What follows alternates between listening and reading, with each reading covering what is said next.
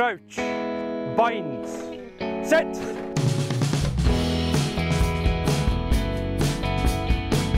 Hola, bienvenidos a 15, soy Pato Fernández y estamos felices de festejar junto a ustedes este primer año y para este programa 50 charlaremos con un protagonista que no necesita presentación. El invitado a este cumple de 15 es Agustín Pichot.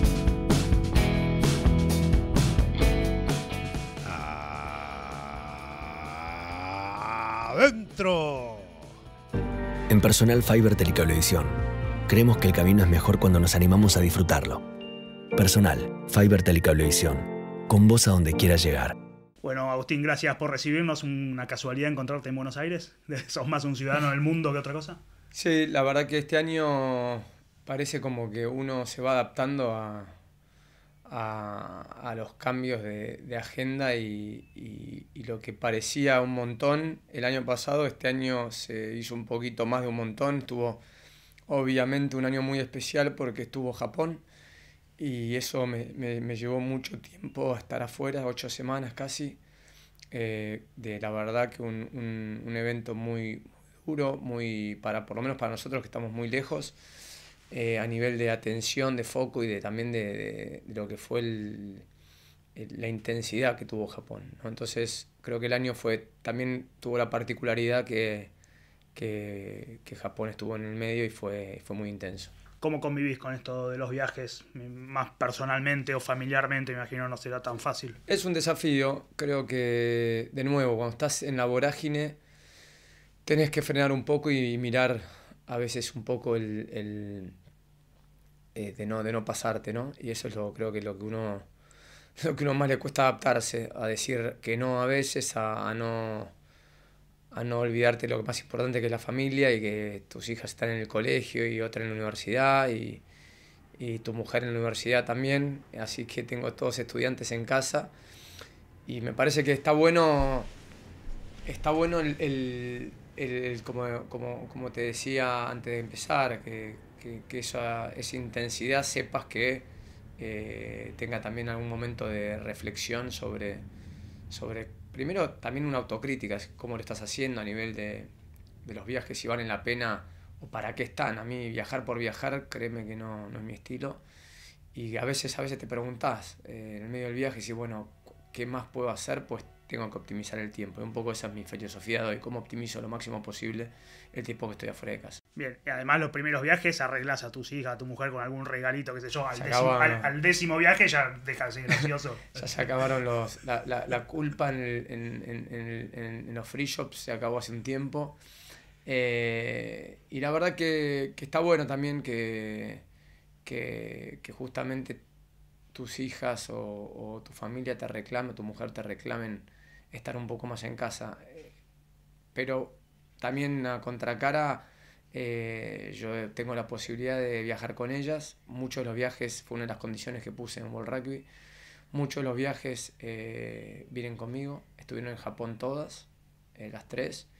Eh, y viajo bastante. En los, de los viajes que hago en el año, muchos de los viajes ellas me acompañan cuando pueden con sus actividades. Bien, te paso al tema del rugby. Año del mundial, el mundial fue muy bueno, quizás el, el asterisco del tifón, que bueno, era algo inmanejable, eh, pero redondeamos un gran año, me parece, de rugby, en, la- en el rugby argentino y en el rugby internacional. Sí, con, por supuesto con un balance y, y lo, a ver, me puedo poner eh, en una posición de hincha, si querés, del rugby argentino, cosas muy buenas que han pasado con el 1920, el Seven, eh, el- el- el- la final en Christchurch con los Jaguares, eh, eh, Luquitas Borges con, con los juveniles.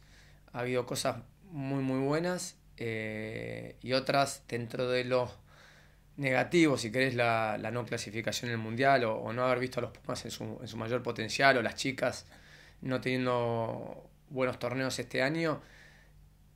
Cuando lo pones a mirar y decís, no, bueno, eh, qué, fácil mirarlo de esa forma, pero cuando vos te pones a mirar con, una, con, con la, con un poquito más de, amplitud eh, el mapa del rugby argentino y dónde estamos y, y cómo está parado a nivel mundial, la verdad que, que se ha crecido un montón. Por supuesto que no querés nunca ni a que a las chicas les vaya mal o que no hayan conseguido su objetivo en el juego, digo, ¿no? Más de una clasificación o no a un juego, es en el juego.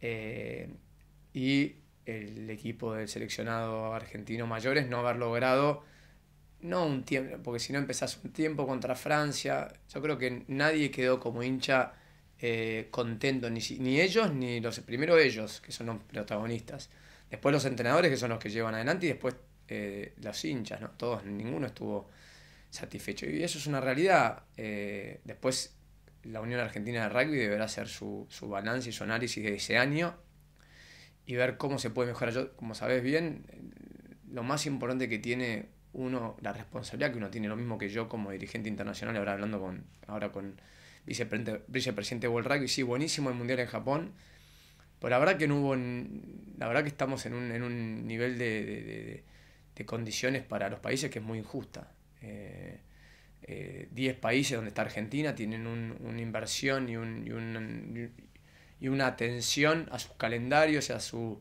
a sus ingresos muy por arriba del resto. Y bueno, eso se ve en el Mundial. Vos ves que el esfuerzo que ha hecho Uruguay, épico, que ha hecho Uruguay con un milagro contra Fiji, que vino construido el milagro, pero es épico, es eh, lo difícil que es para Rusia, Estados Unidos, Canadá ser competitivos.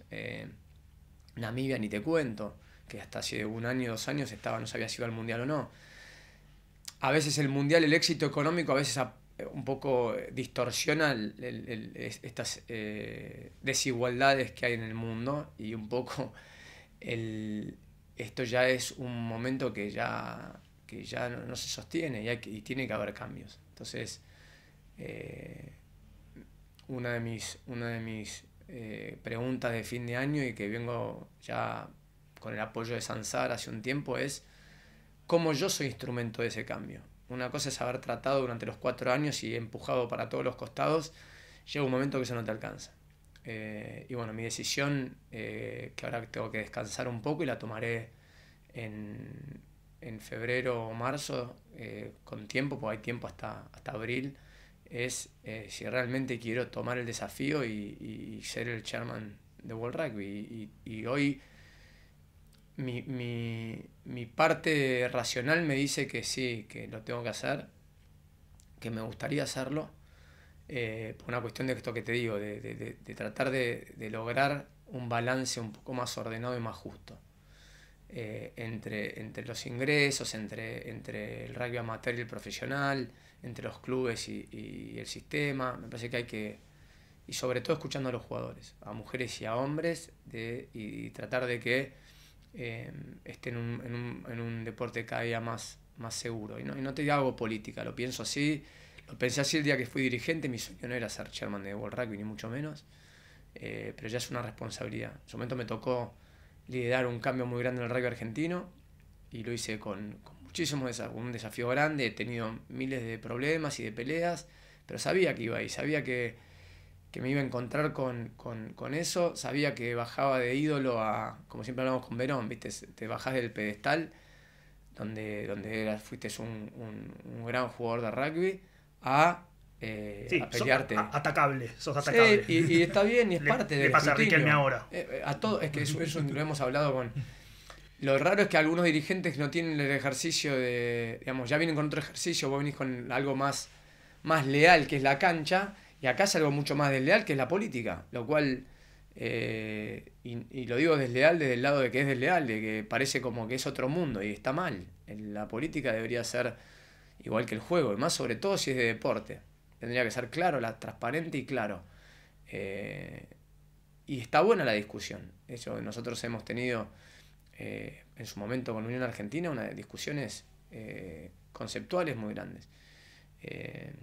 Y bueno, eso es parte de, y, también es parte del aprendizaje y parte de cómo, de cómo, de, cómo se espero, como te decía, la decisión, eh, como se sabe, yo tengo un mundo empresarial que es, que es intenso, tengo una, una empresa de medios que se sabe, que la, tuve, la he tenido hace ya más de 15 años, eh, tengo un, proyecto de minería en Sudamérica muy grande también, y tengo mucha gente que, que depende de mí. Entonces, eh, tengo que ver cómo ordeno eh, esa parte más la familiar. Imagínate que seguir sumando cosas, como hablamos al principio, el balance en el cielo familiar. No, hoy no me daría positivo y es lo que todavía no me deja lanzar. Siempre Agustín, vos me preguntás, Agustín, ¿por qué no te no, ya no lo decís? No lo digo por especular, lo digo por una cuestión de que tengo que ser bien cuidadoso, no quiero arruinar mi familia ni, ni, ni, vivir arriba de un avión todo el día y después en 10 años decir qué hice. No, no, no es mi intención. Aparte, tomar el, World Rugby eh, sería prácticamente instalarte en Dublin.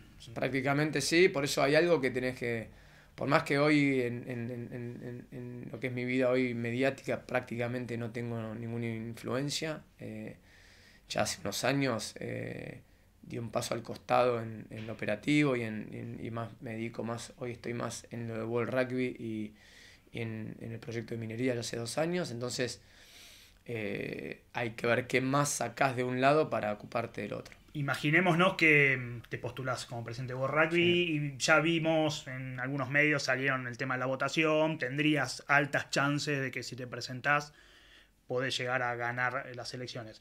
Vos sabés que te metes en una pesada porque tenés los países centrales, en especial los del hemisferio norte. Muy pesada, no pesada.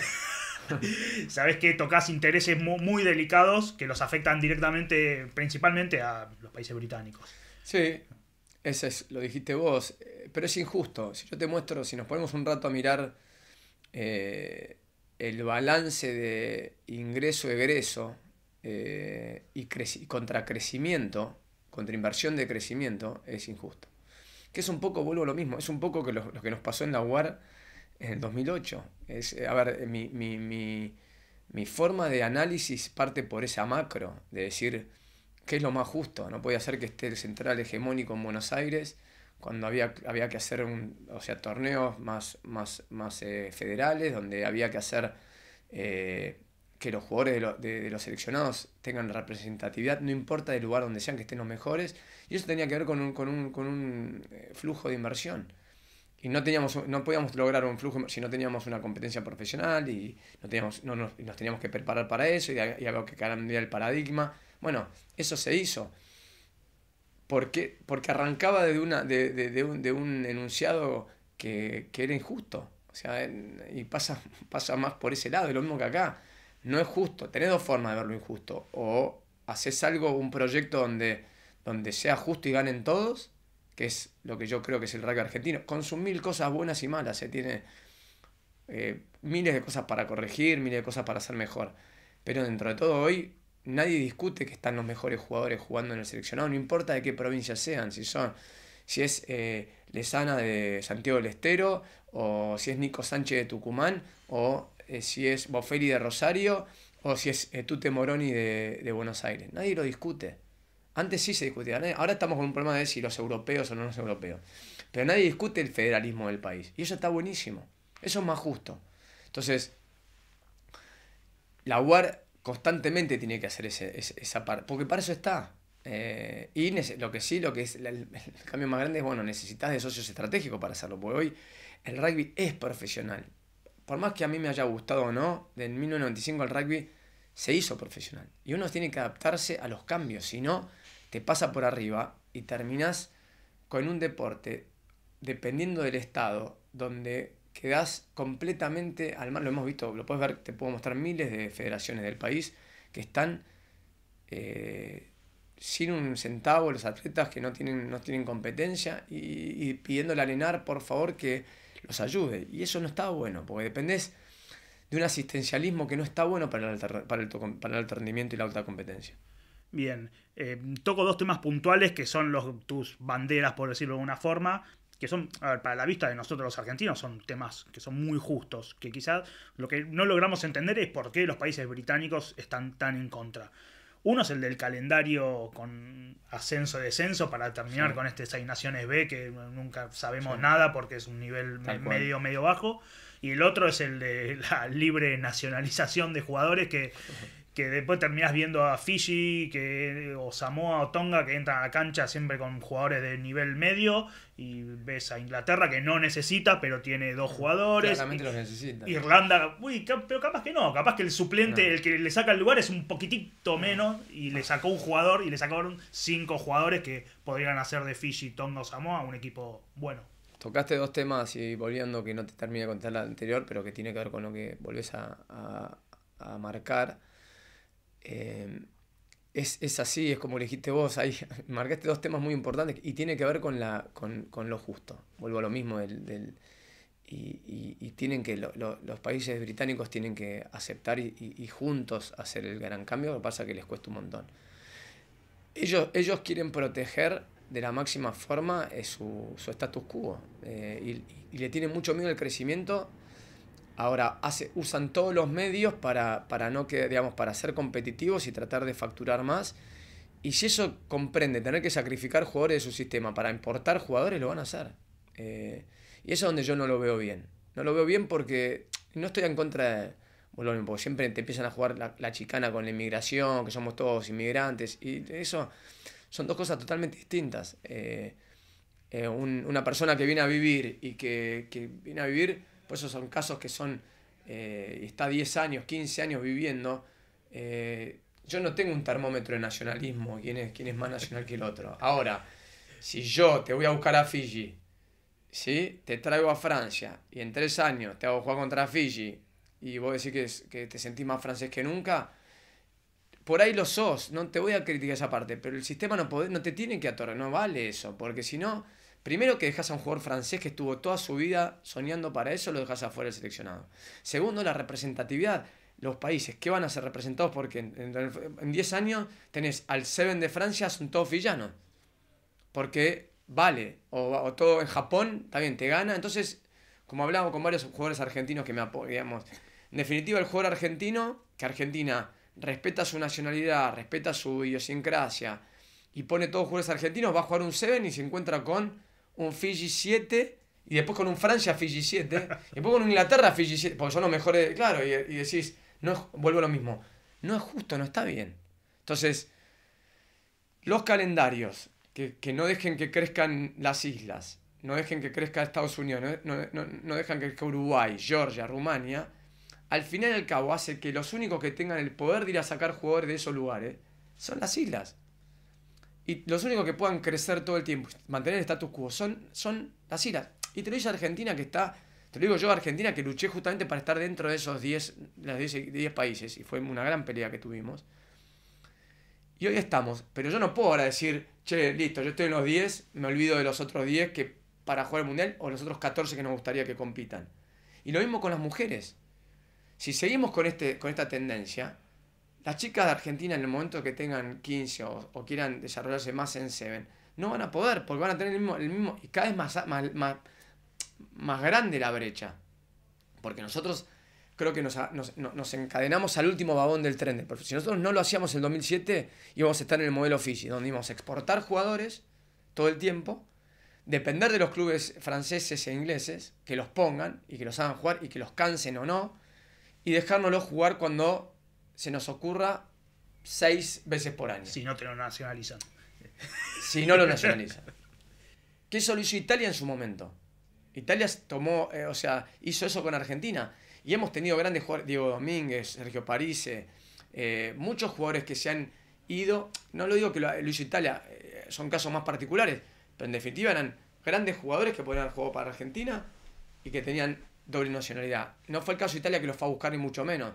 Pero te digo que Argentina en un momento no tuvo sus mejores jugadores que creó el rugby de, de base Argentina. Porque Diego, Sergio, eh, Castro Giovanni jugaron todas sus juveniles en Argentina. Y tomaron la decisión de, ir a Italia. Y está bien. Lo que yo digo es Argentina, Fiji, eh, Rumania, Georgia, Canadá, Estados Unidos Samoa, Tonga, se merece tener los mejores jugadores jugando para sus seleccionados y no que se tengan que ir, que esta es la realidad de las distintas economías, que se tengan que ir por una mejora económica, que está perfecto, somos profesionales, está perfecto, pero que no, eh, que no sacrifiquen jugar para su país, que ese es el gran dilema, porque hoy en Fiji no les pagan nada, porque no tienen los ingresos, y en Inglaterra ganan una fortuna si juegan para Inglaterra. Entonces, la decisión de la nacionalidad que para nosotros es súper emocional, por ahí deja de ser tan emocional. Vos sos, vicepresidente de, Bill Beaumont y tienen una buena relación, o al menos eso nos parece. Eh, él es inglés y me imagino será por la edad, será conservador, como bueno, gran parte del rugby inglés. Eh, me imagino que hablan estas cosas, que mm, él defiende la postura del rugby británico, la de no toquemos nada, que así estamos bárbaros. Bueno, sí, es, es, es interesante. En su momento cuando cuando a mí me llama Bill para, para, para que lo acompañe, yo hablo con Bernard Lapacette, que era era mi referente político francés, y, Bernard me dice, Agustín, siempre encontré, ellos estaban divididos los británicos y, los latinos.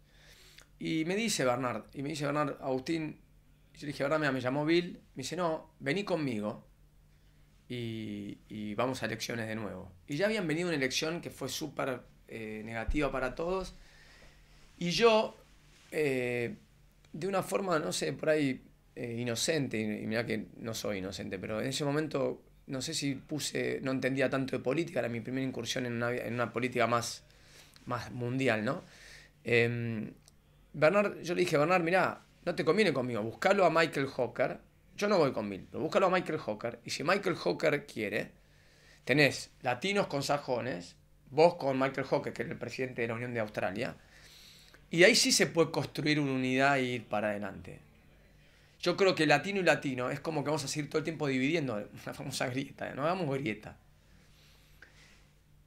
Y, cuando fue a Michael Hawker, Michael dijo, no, mira, nosotros queremos ir con Bill. Entonces Bernard me dijo, no, anda con Bill y tratá vos de cerrar la grieta. Vos tenés empuje, vos tenés ganas, yo estoy un poco cansado y yo te voy a apoyar, dijo Bernard. Yo fui, eh, con Bill y fui muy claro de las pautas del cambio que había que hacer. Una fue la nacionalidad que la cambiamos, la otra fue escuchar mucho más a los jugadores, la tercera un calendario más justo. Y los primeros años veníamos fenómeno, veníamos haciendo todo, hasta que ya los cambios eran, ya empezaban a ser una amenaza. Y nuestra relación cambió. Pero no cambió, yo no cambié. Él tuvo que, digamos, él, él tuvo que proteger, o está protegiendo, lo que es lógico, el status quo. Y yo empujo para que las cosas sean más justas. Entonces, yo le dije a él en el Mundial, Bill, nuestros caminos, yo no sé si, yo no creo que siga. Si sigo es para ser chairman. Si no, me voy a casa, yo así, donde en un momento donde ya no puedo lograr que los cambios sigan su momento y, su, y, y sus formas lógicas de crecimiento del rugby, yo no pude decirle a Uruguay, no le pude decir a Brasil, no le pude decir a Estados Unidos y Canadá que estamos invirtiendo hace cinco años y todos el rey argentino ayudando, Sudáfrica ayudándonos a nosotros, y después decirles, no, bueno, eh, no hay competencias. Siguen siendo la competencia para 10 países solo. No me da la, o sea, no me da la cara. No me da la cara y no, no me siento cómodo. No, estoy ahí para comer sándwiches y viajar en business al mundo. No me interesa, no, no, no necesito esa parte. Y se la dije a Bill, tenemos distintas miradas del mundo. Ya hoy, a cuatro años que estuvimos juntos, ya son muy obvias las miradas. Yo, yo el año pasado pateé el tablero con este campeonato de 12 y 12, donde era lo más justo posible. Y, vos te retraíste. Porque, porque para muchos del Seis Naciones esto era una amenaza, en vez de verlo como una oportunidad. Y ahí, y ahí, y ahí nos, nos empezamos a separar. Ideológicamente, digo. Con mucho respeto, por supuesto. Bien, ¿crees que Francia sigue de tu lado? No, Francia creo que no. Eh, Francia piensa como yo. Eh, pero pragmáticamente me imagino que va a tener que, jugar un bloque con el Seis Naciones. Hoy está muy dividido de nuevo. Lo que dijiste vos. La grieta que siempre estuvo se vuelve a marcar.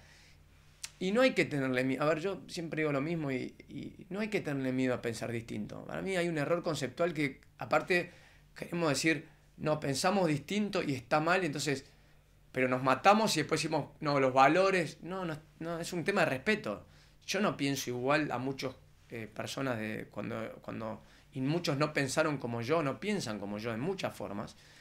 Y yo no. El problema es cuando hay una falta de respeto, ya empiezan a los mantos de sospecha, eh, eh, mezclan o tratan de esconder cosas que yo nunca escondí y ni lo hago en ningún lado. Entonces, el respeto, lo importante es el respeto. Ahora, para mí, la grieta ideológica existe y está perfecto que exista. Si no, sería. Está bueno que pensemos distinto. Y eso, de eso se trata justamente la democracia, o pensar distinto democráticamente en World Rugby. Lo que a mí no me gusta es que se hagan las reuniones, las reuniones, las reuniones. Yo me cansé de eso. Tiene que ser, las cosas tienen que ser, hagámoslas y digámoslas las cosas.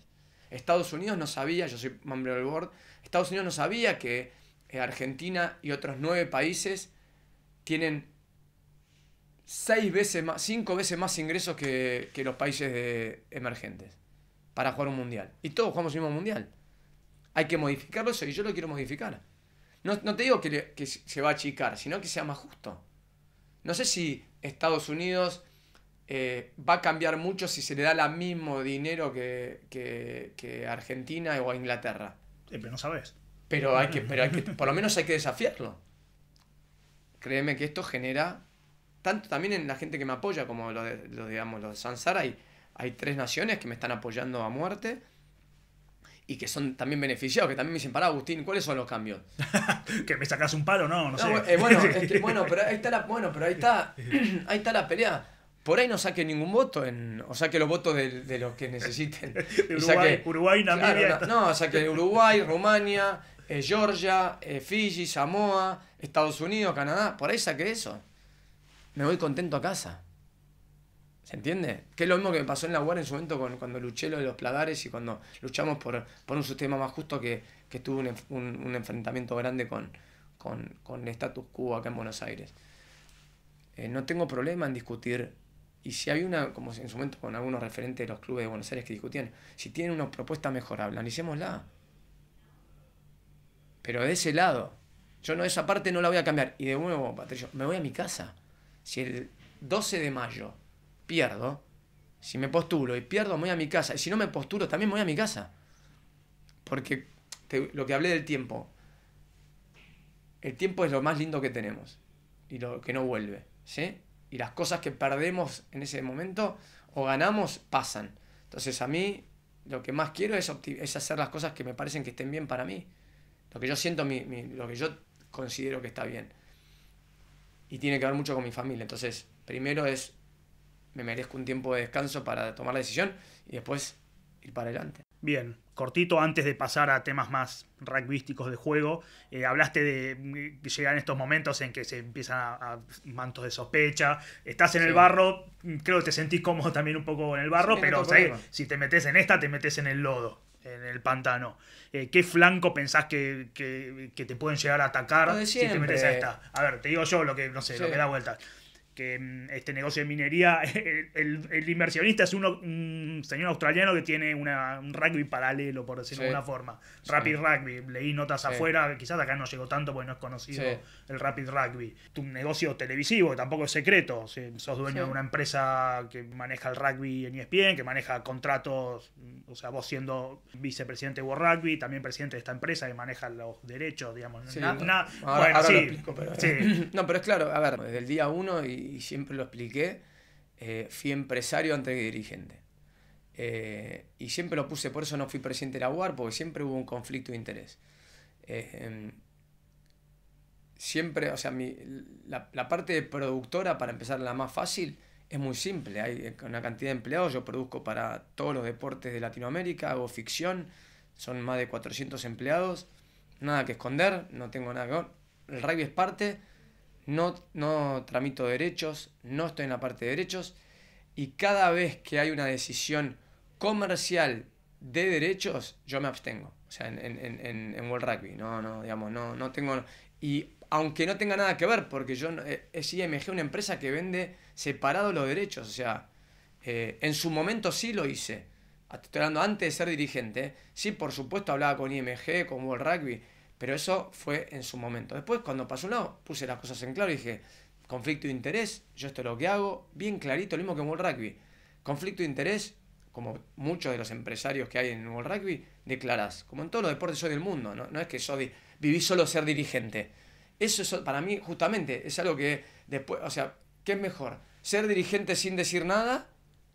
o ser dirigente siendo claro y bien transparente con las cosas. Yo elijo ser transparente porque es lo que soy. Acá está, nadie me obliga a ser dirigente, nadie me obliga a no ser empresario. Aquí está y lo digo bien. Una de las, una de las, una de las de los conflictos de interés que no hay, pero que igual lo declaré, es el tema de Andrew Forrest. Andrew tiene, como decís, ya no más él, pero él, él, él- él pone los fondos para una liga que está aprobada por, por, por World Rugby por, y por Australia, donde en verdad la pide Australia, donde cuando la pida World Rugby yo me abstengo porque no puedo, por, pero por un tema de, de amistad y de cercanía, no porque ah, la minería con el rugby no tiene nada que ver. Entonces, me- pero por un tema ético yo me abstengo. Y no tiene ningún eh, punto de. Yo no hablo de. Yo no sé ni lo que, ni, ni lo que pasa con el equipo de Andrew. Lo conozco por la. Igual que lo conoce vos. No tengo ni idea quién lo entrena. No sé si el, el nuevo CEO lo que van a hacer. No sé cuál es el calendario del año que viene. Y si me preguntasen, lo contestaría Andrew como World Rugby. Le diría Andrew, como me puede preguntar mañana, eh, el que organiza el circuito del fin del mundo, Cali Río, que organizan eh, eh, el circuito de Ushuaia, y yo sea amigo y me cuente, pero no porque sea amigo o tenga una empresa con él, desde, si fuera dirigente de la UAR.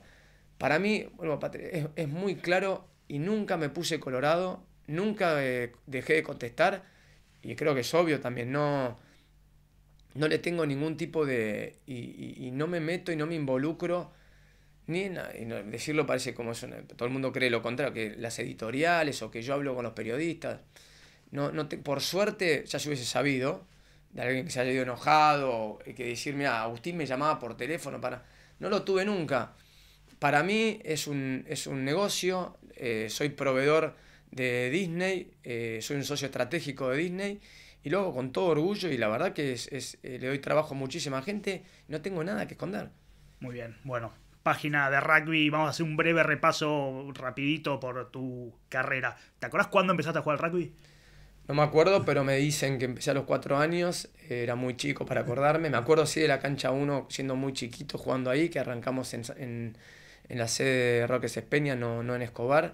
Después a los años fuimos a Escobar ya de más chicos, la- nos tomábamos el, el ómnibus a las ocho y media en la placita y nos íbamos en un, en un, en un, en un viaje largo, una cruzada, como le decíamos, hasta Escobar, que era, era, era un... Que era- ahora es lindo el camino, en ese no, momento. ahora, ahora, era- ahora es increíble. O uno de chico veía todo largo y lento y, y en el fin del mundo.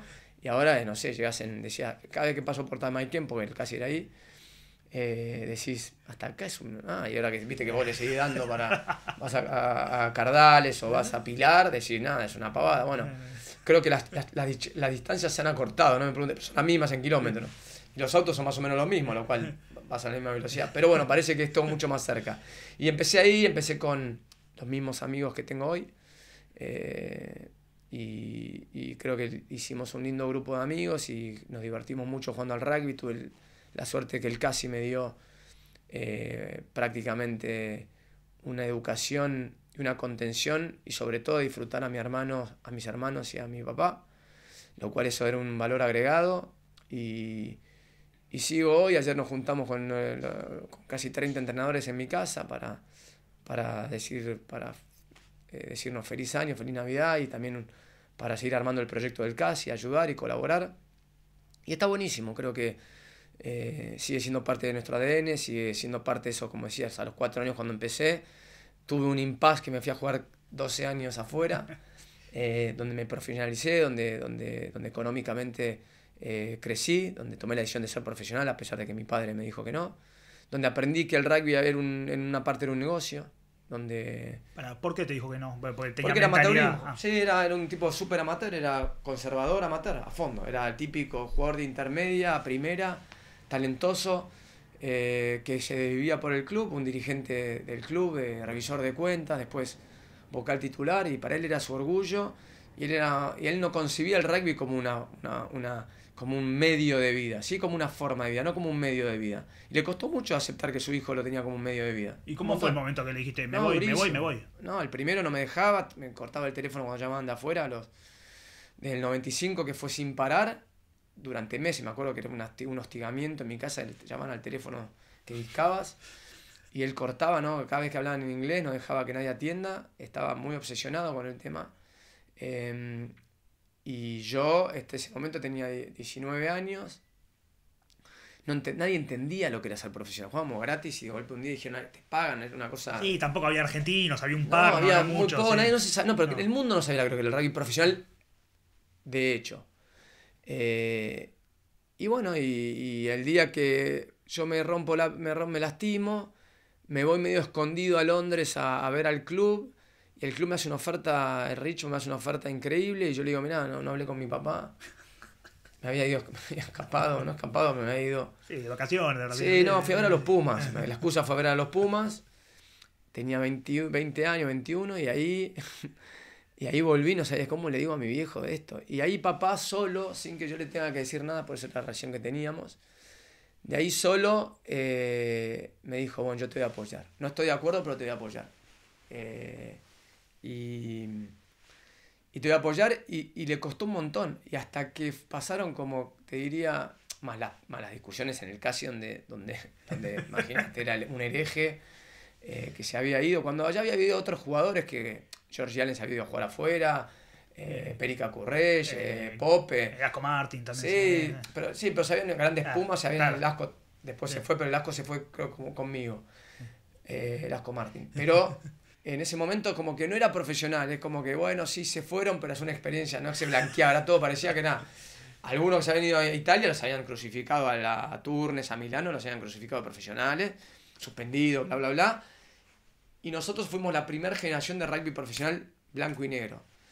Y aceptado, porque ya habían sacado la B de los Pumas y estaba bien, ya era parte, y ya era oficial, en la- estaba reglamentado que valía el rugby profesional. Entonces, para mi papá, digerir eso le costó hasta que vio que eh, no le hacía mal a nadie, de que, de que era una decisión de vida, de que ya está, digamos Que- que, que no- lo seguías queriendo. que casi me lo seguía que era lo mismo, que no, no, no había cambiado, que nadie me había puesto ninguna, ningún lavado de cerebro. Y bueno, es parte de la cultura y fue, fue para papá muy lindo también ver que su hijo estaba haciendo, había tomado una decisión y que lo, la apoyaba. ¿Tu gran primer entrenador fue tu hermano Quique? Me dijeron que fue el que te enseñó prácticamente todo. Sí, creo que eh, hubo dos, como dos, dos hilos muy grandes de mi enseñanza de, de jugador y de, y de persona. Una, obviamente, mi familia, donde Enrique y mi papá, mi papá fue entrenador en la cancha mío. El otro día me mandó una foto en la décima, todos los chicos lo mandaron recordándolo, a él y a Mariano Aguilar, que eran el papá del bolo, que, que también que, son personas que han estado muy cerca nuestro. Muchos padres en, en ese momento, ahora, lo más lindo que tiene el rugby infantil, los papás están entrando y tenés grandes recuerdos de ellos. Eh, y, y en ese momento Enrique era como la persona que yo quería imitar, mi hermano más grande, muy talentoso, mucho más talentoso que yo, eh, muy disciplinado, muy ordenado, yo era bastante lo opuesto. Bastante picante también, me dijeron Sí. en la cancha. Sí. Más, más, de- más de grande se puso más picante. Eh, es como que de viejo, se, se- como de más grande se fue poniendo más ácido, como era mi papá. Yo no, yo es como que, es como que lo, lo, lo volqué más al, al- al- al- a la intensidad del juego, más que, más que a, a- a lo psicológico. Después le metí una parte psicológica, pero ya en el rugby más profesional, con los referees, con, con, con la estrategia del contrario, ya en un juego más psicológico. Ahí fue un más cambio. Pero Enrique me dio muchísima plataforma y mis entrenadores, obviamente, del CASI también. Bien, Quique nos mandó un mensaje y contando una historia que creo fue una gran enseñanza para vos. Te cuento la siguiente anécdota que se me viene a la cabeza. Éramos muy unidos de chicos, estábamos todo el día juntos, la pasábamos el día juntos, todo el día en bicicleta, este, íbamos al colegio juntos caminando, hacíamos de todo. Y siempre jugábamos juntos a cualquier cosa. Uno de los juegos que teníamos era un- una mesa de ping-pong en el garaje de mi casa, de mis viejos, en el sótano, subsuelo. Tenía tres pisos la casa. Y jugábamos mucho al ping-pong. Entonces arrancaban los partidos y yo me ponía 1-0, 2-0, 3-0, 4-0, 5-0, 6-0. Y cuando estaba por hacerle el out, me tiraba la paleta arriba de la mesa y me decía, listo, no juego más. O arranquemos de nuevo. Bueno, dale. Volvíamos a arrancar, 1-0, 2-0, 3-0, 4-0, 5-0. Y me tiraba la raqueta, la paleta arriba de la mesa de nuevo. Y yo le decía, dale, una más, pero la última, ¿eh? Entonces cuando volví a arrancar el partido, 1-0, 2-0, 3-0, 4-0. Y ya veía que me iba a tirar la paleta. Entonces me tiraba la paleta arriba de la mesa y él ya me conocía, que me sacaba, me tiraba la paleta arriba de la mesa y cuando la paleta estaba en el aire él ya estaba corriendo escapándose y yo atrás de él este y se subía a los tres pisos por las escaleras a máxima velocidad tratando que yo no lo agarre este yo creo que la habilidad en la cancha no me caben dudas que la sacó de ahí Así que bueno, nada, anécdotas de hermanos, de estar todo el día juntos y compartir toda una vida juntos. Así que nada, un abrazo a los dos, ficha te quiero. Quique Pichot, eh, bueno, sí, subir tres pisos en velocidad eh, Las piernas te bien. entrena, sí. Eh, sí, lo escucho y me acuerdo como si fuera hoy. Y sobre todo la resiliencia, la resiliencia mía de... Veo eso y digo, de no aceptar perder. Eh, lo veo de ese lado y, y la excelencia de mi hermano de no aflojarle. O sea, había muchas cosas psicológicas que, que yo aprendí de eso, de, de esa, de esa pavada de hermanos, ¿no? Es verdad, pasamos todo el día juntos y era una competencia sana increíble. Hermano más grande, mucho más talentoso, él mantenía esa presión constante de el 6-0 de llevar al out. Yo matándome porque no, sé, o sea, imagínate. Pero al último momento no dejando, o sea, volver a pedir el desafío para porque no aceptaba perder. Yo eso eso tiene, habla mucho de, de, lo que fue una, una cultura de, exigencia mental deportiva grande. Así yo, cada cosa que yo hacía, yo, yo quería ser mejor que Enrique. Eh, y, y, en mi vida yo no aceptaba, eh, o parte de lo lúdico para mí era yo tratar de ser mejor.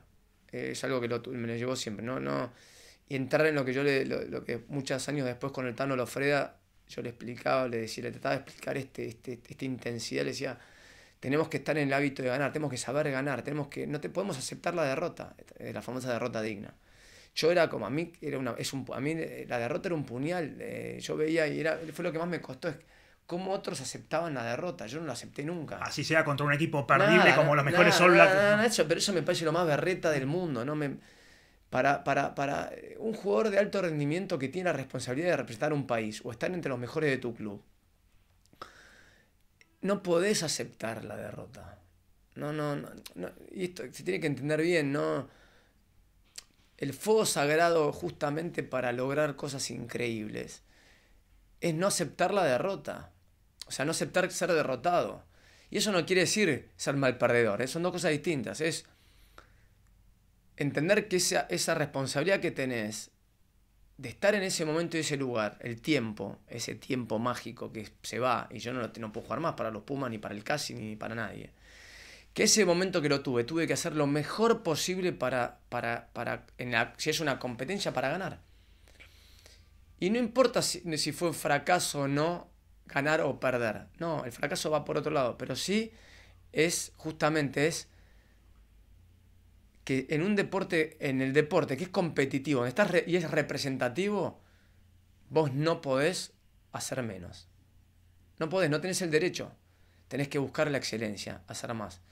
Y eso depende de vos. ¿Cuál fue el mejor momento de tu carrera en el que dijiste, este, esta temporada, este año? Eh...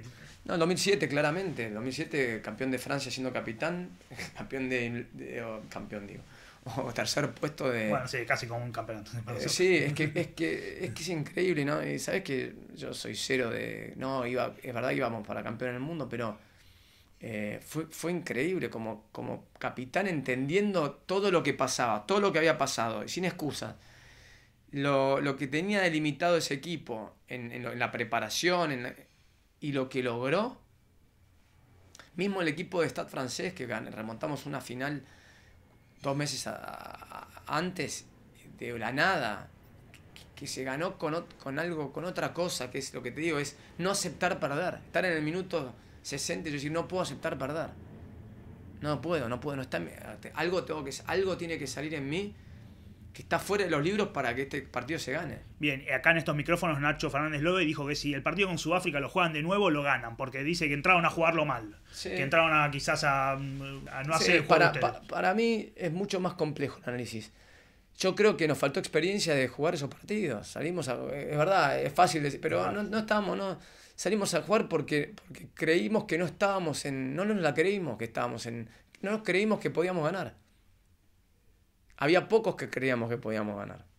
Y eso, es, eso me decís, ¿qué es lo que te queda como algo de decir, te quedó y haber jugado más, haber tenido el Rugby Championship en ese momento? Si nosotros teníamos el Rugby Championship, ese partido lo ganamos. Si hubiésemos jugado contra Sudáfrica en instancias decisivas en un Rugby Championship, dos veces más, ese partido lo ganamos. Claro, ahora lo vemos fácil, capaz que los más chicos no lo saben. O sea, con Sudáfrica vos habrás jugado muy pocos partidos. Muy poco. Con los All Black muy pocos partidos. Menos en una semifinal. Ah. Eso, eso es, te digo que por eso te digo, cuando uno fue parte del proyecto del de Rugby Champions, tenía que ver con justamente los pasos que hay que tener para ser campeón del mundo en algún momento. Tenés que tener esa competencia, tenés que jugar contra el Sol Black todo el tiempo, para cuando te encontrás en la cancha, como nos pasó a nosotros con Francia, no te iluminan, como fue en Gales en el 99, Australia en el 2003, que te pare- parecíamos liebres, nos prendieron las luces, no sabíamos para dónde. Y en el momento del partido contra Gales y contra Australia, jugamos mucho mejor que ellos en el 99 y el 2003. Mucho mejor. Sin est- mira, 99 sin estructura, sin nada, perdimos con un try que pisan que Jarvis en al costado, que no que es, es anecdótico. Sí, sí. Pero estábamos años luz de Gales. Con un pateador que metía todas. Sí. Eh, anecdótico, pero eh, eh, cómo estaba Argentina jugando igual igual a Gales en 99 cuando nos habían echado los entrenadores. Habíamos jugado dos partidos, era, era demencial. Bien. Eh, Mundial 95, ¿qué recuerdos tenés? Fuiste, eh, eras jovencito, entraste por la ventana, no jugaste ningún partido, pero. Y vos no venías de experiencia de Pumitas, no habías. eh, No, había jugado los Eh, Pumitas sí. en. No, había jugado los Pumitas. eh, había jugado después cuando cambió los entrenadores. Porque había toda esta parte de que había mucho. Era, era difícil llegar. Si no jugabas en la A, en menor de 19, era como que estaba muy establecido un parámetro que era parte de la época. Ni injusto ni justo era así. Eh, después me tocó jugar el sudamericano un poco. Después fui, de golpe salté de los Pumitas al mundial. Una cosa rara. O sea, de los Pumitas de suplente de los Pumitas a, o no estar en los Pumitas en el Campeonato del Mundo a- al Mundial. En un año y medio. La primera el club y el Mundial. Un aprendizaje increíble de cosas buenas y malas. Eh, en su momento me parecían todas malas, pues no jugaba y yo quería jugar. Pero después con el tiempo fue, una- fue me- creo que fue parte de mi aprendizaje a lograr un, un muy buen mundial en el 99, un, un mundial eh, bastante flojo en el 2003 y un increíble mundial en 2007. O sea, todo, fue un- todo tuvo su, sus cosas buenas, su aprendizaje que me dejó muchas cosas de liderazgo sobre todo. Cómo un grupo se maneja, cómo los que no juegan, en ese momento no juegan un partido, cómo los que no juegan son tan importantes para un grupo, dejarlos de lado, cómo eh, los tratos, buscar eh, el trato de los entrenadores que sea más, más parejo. Bueno, todas esas cosas, creo que eso fue más de aprendizaje de liderazgo, el no- el 99 fue mucho más de adversidad, de no estar con entrenadores, de tener que agarrar el grupo y, y hacerte líder de, golpe, cuando había habido el 99, el 95 y hacerme líder de toda una generación. El 2003 aprender cómo jugar las cosas que hice mal, o sea, egocentrismo, eh, eh, medios, eh, publicidades, fama, Y eras capitán. y, y de golpe fui capitán, entonces pasé de ser eh, un poco una mezcla de eh, el jugador famoso que todos buscaban, de golpe tenía que ser yo el líder absoluto del equipo, con un grupo que no estaba unido, y yo seguía con, por, por ahí manejándome más como la figura y no el jugador o el líder. Y eso, lo- eso fue una crítica hacia mí, yo me equivoqué. O sea, no, no, no, no, no fui un buen capitán. O sea, fue un fracaso. Y el- parte del fracaso lo asumo yo. Lo hablábamos igual con el Tano Lofreda eh, y con Diego Albanese. Lo hablábamos es que, que fácil es pasar de fracaso a éxito porque decimos. El Mundial del 99 con Irlanda, eh, esos últimos minutos era prácticamente, era, era más natural que termine en try Sí. a que no, y te volvías. Y el partido con Irlanda en 2003 se pierde por un punto. eh, y el 99 fue mega exitoso y el 2003 fue un fracaso. Y Bueno, pero, hablando eh, de- sí, pero, pero no- Y lo mismo que te pasa con el primer tiempo de Francia en el Mundial de Japón. Sí, si no O, entra el o- o Bartolazo. la, o la de Lucas eh, Amorosino en el- la pisada cuando ese mundial era para irse a su casa porque habían, no habían jugado bien y fue en ese partido contra Escocia fue bastante malo y Lucas saca un conejo de la galera y Felipe termina con su calidad, si no, a casa. Y capaz nos quedamos sin Nos quedamos sin nada. Fue un milagro. Pero habla mucho más de lo que pasa, eso lo que, lo que desgraciadamente o afortunadamente, es el deporte, lo que, lo que descubre o, o- muestra es cosas que pasan eh, buenas y malas adentro de un plantel. Exponen, o sea, de golpe perdés y están todos peleados. Eh, lo mismo pasó en 2003, estábamos todos peleados, el grupo de Pichot con, eh, con otro grupo, eh, eh, o sea, los que hacían eh, televisión con Fox. Eh, y, y cuando hacía tres semanas estaba todo bien, si hubiésemos ganado ese drop o esa patada o no tira Fede Méndez torcido el largo el line eh, y entra Keith Wood o, y por ahí estamos hablando de qué gran mundial 2003. Desgraciadamente o afortunadamente el deporte es así. Una puntual para cerrar temas mundiales. Contame cómo fue el entretiempo del partido contra Samoa en el 99. Daba, Ese vestuario de haber sido ahora a la distancia, de haber sido muy gracioso en ese momento. No, sido- es que había. no fue tan. A ver, fue difícil, pero es que teníamos una, una admiración por Alex que era muy grande. Alex Wiley era nuestro entrenador. Es como que. Él, él en ese momento nos, nos cachetea con, nuestro, con nuestra actitud defensiva del rugby argentino. Es como que nos despierta algo de confianza, por un lado más agresivo, y saca lo mejor de nosotros, de ese lado. Yo me acuerdo que salía a jugar el segundo tiempo con otro, digamos, sin, sin esperar, sin especular tanto, sino ser más protagonistas. Y se notó. Bien. Pero bueno, puteó a lo- todo lo costado, ¿no? un, un tipo que no estaba acostumbrado a sacarse. No, no, no.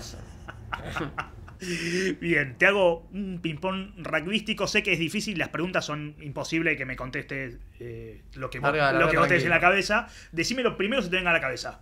Eh, mejor jugador con el que jugaste, de compañero. Felipe o Juan. Bien, crack los dos. Los dos. Increíble. Indiscutidos. Bien, el jugador más áspero que enfrentaste, ya sea compañero o eh, compañero de entrenamiento o rival. El turco Siemens. ¿Sí? Sí. ¿La, la ligaba siempre? Ah, el turco, el turco áspero, sí, asperísimo. El turco Siemens, sí. El jugador más insoportable dentro de la cancha. Matt Dawson. Uf, Nos matamos. El otro día nos encontramos en Japón y nos decíamos, insoportable los dos, ¿no? Sí, insoportable los dos. Ah, bueno, a él le hicieron una nota y dijo lo mismo. ¿Sí? No, no, digo yo. de- Sí, seguro. Muy bien, te voy a hacer ahora sí una ping-pong por eh, afuera del rugby. La uno es cómo eras como alumno. Eh, era bueno, eh, rebelde, decían las maestras. Pero no, el colegio siempre bien. Eh, pero me portaba, era un poquito inquieto. Bien, las dos mejores vacaciones que hiciste. Pinamar, toda la vida con mi familia. Muy bien, ¿y eso lo mantenés? ¿Tratás de mantenerlo? Sí, lo mantengo ahora cambiado, pero siempre con familia. Y después con mis hijas en España también es otro lugar que tenemos como un lugar nuestro. La 3. Videojuego preferido y tu Uh. apodo es ficha Es difícil. por los fichines. Sos de la época de los fichines como yo. ¿Cuál era el, Tengo cuál era varias el- etapas. City Ah. Connection, eh, Kung Fu Master y Double Dragon son los tres que te podría nombrar. El doble- Elevator Action, pero. Uh, el doble dragón con mi hermano. estábamos todo el día. Juan de todo dos. usted- Sí, sí. ¿Lo ganaste? Azul y rojo. Eh, sí, lo terminé mil veces. Yo llegué a la pantalla final y siempre me quedó eso. Y, No, no tengo, Ya. es más, lo tengo en casa, tengo, lo tengo. Que en la pantalla final es un salón que aparece un señor Sí. con una ametralladora. Sí, lo No, tengo, lo tengo, una ametralladora eh, eh, amarillo creo que es. sí. Me mató el señor de la ametralladora. El Kung Fu Master es espectacular. No entiendo Joder. cómo no, no lo dan en la escuela eso. Como- Estamos de acuerdo. Eh, la 4. ¿A qué famoso te pareces? ¿O te joden que te pareces? ¿O te han no tengo confundido? mucho. No, yo entro a Keanu Reeves, pero no tengo nada, nada que ver, pero bueno. Ah, te, me- te han dicho. La 5. ¿Cuál de los quehaceres hogareños es el que mejor te sale? No, soy un desastre, una- un desastre, un desastre. No, pero hay algunos que no necesitas habilidad. y Lavar los platos. No, no sé hacer nada. Sí, no, bueno, sí, va. la- la- me, me acuerdo cuando nos portábamos mal, nos lava- lavábamos nosotros los platos. Va siempre, en casa lavamos los platos. Pero pésimos lavar de plato, pare- estaban peor que cuando lo lavaba. La 6. ¿En qué otro deporte crees que hubiese sido bueno? Eh, al squash. Muy buen deporte el squash. Capaz de las rodillas y los Sí, ahora no le- Y la cintura, la cintura Sí. te, te liquida. Muy bien. Eh, me dijeron que Kike es muy bueno. Quique juega muy bien. Bien. No te gana 6-0 y te y le No, tiran- la, yo, la ra- raqueta de squash es más brava si te la tiran por la cabeza. Sí. la 7. Corte preferido en el asado. Bife de chorizo. Espectacular. Eh, la 8. Grupo musical preferido. Uf, tengo varios. Eh, los auténticos decadentes para bailar más. eh, Andrés Calamaro para escuchar las poesías. Y los babasónicos para darle un poco de flow. Muy bien, buen podio. La 9. Hincha de. Boca Juniors. ¿Lo estás siguiendo? ¿Se- ¿Lo Sí, seguís? Poco. Ah, Sí, el fútbol no es lo mío, pero lo sigo. Pará, an- antes que me olvide, te lo hago ahora. Sos muy amigo de Verón y siguen con esa amistad eh, de la época de Inglaterra. Sí, desde Manchester nos hicimos amigos y ahora somos muy amigos. Bien, el estadio está bueno para rugby, ¿no? Increíble. Ojalá podamos jugar un partido. Esta idea es increíble. Aparte para la gente. Primero que La Plata es un lugar donde es la- no sé, la concentración más grande afuera de, de los clubes tradicionales. Ellos dicen que son la capital del rugby, puede ser. Puede ser, sí, se, se lo merecen. ¿Y el estadio se banca rugby? Sí, va a estar buenísimo. Sí. Ya lo estás confirmando. No, no, va a estar buenísimo, Ah, ¿no? Ya va a estar- sí. si, si llega a pasar, creo que están hablando con hace rato, están hablando con la Guardia a ver si pueden hacer algún partido. Sí, Muy acá. bien. Para contarme alguna historia divertida, cortita de Manchester. No, Manchester, eh, hemos estado en una fiesta de fin de año, siempre lo cuenta Sebastián o yo, que terminamos a, a las peleas entre los argentinos y los ingleses. Felipe un poco sacado, arriba de Beckham, moviéndole el pelo y decía, nos van a matar a todos. Sí, lo vas a guinzar y... Sí, lo van a guinzar, ¿eh? y, y, sacándole el gorro, escapándonos con el gorro de David Beckham. Felipe riéndose, Verón, no se lo devuelvas. Y, y pasando una noche increíble en un, en un, en un antro ahí en Manchester, que fue muy divertido. Muy bien, dibujo animado favorito de tu infancia.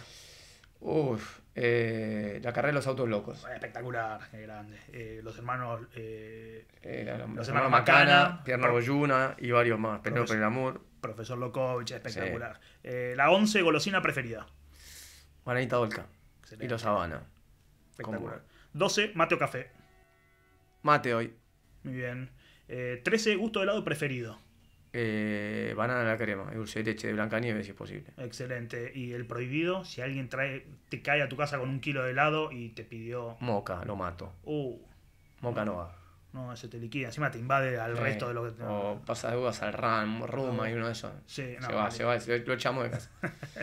Muy bien. 14. ¿Quién era tu ídolo en infancia, adolescencia? Eh, deporte, músico, no vale familiar. Ya hablamos de, de tu viejo. De tu No, tío. el, de, musicalmente, una mezcla entre los Beatles eh, y, te diría que los Doors me agarró en un momento Pink Floyd, esos tres grupos eran los que más tenían más idolatría. Y en la parte deportiva, eh, yo creo que Diego Maradona fue, una persona que, la verdad que lo tenía como, lo admiraba. Y Michael Jordan también en un momento fue alguien que, que digamos, de chico era, cuando era adolescente era... Sí, en, los, no- en los 90 era Sí. un monumento. La 15 y última. ¿Tienes algún TOC? ¿Trastorno obsesivo compulsivo? No, ¿No? me gusta Muy- mucho el rugby. Muy bien, ya para ir cerrando. eh, estuviste en su momento en política, en política nacional. eh, te Sí. fuiste desencantado. Sí, tenés, sí. sí, te- tenés ganas de en algún momento Por volver ahora no. Eh, siempre estuvo mi inquietud en ese momento con Mario Daneves, que entendí un poco que no estaba preparado para, para lo que era la, de- la- no lo desleal de la política, pero sí las cosas que uno no, no comulga. Sí, ahí, Eh, no hay, ahí no hay códigos, ahí no, se no. pega y se pega. Sí, exactamente. Entonces, eh, no, por ahora no. Bien, por ahora, deja la puerta abierta. Muy bien. Eh, pero ahora que hay hay deportistas eh, Sí, siempre en esa eh, sí, quizás, bueno, pero quizás ahora están los de tu generación, quizás eh, Sí, antes siempre era una generación. Sí, o lo ves a Matías Lames, que ves un tipo de, viene de, también del deporte, empezó un pibe muy bueno. Eh, no, la verdad que, pero no, todavía no, hoy yo estoy con World Rugby. Sí. Yo tengo que decir que hago con World Rugby. Bien, y si en febrero decís, bueno, no, no estoy para esto, me bajo, como dijiste vos, me- no, no más política de rugby, me quedo acá, ¿te ves como entrenador? ¿Te ves? No lo sé, ¿sabes que no sé? Colaborar con el club seguro, como hago un poco más presente, pero después no sé, el rugby seguro, en algún lado sí. ¿Pero nunca te picó el bichito de ser entrenador? Porque No. no. No, no, sé que no. Bueno, Nunca me agarró. muchas gracias por esta hora de entrevista. Fue un placer y gracias a vos.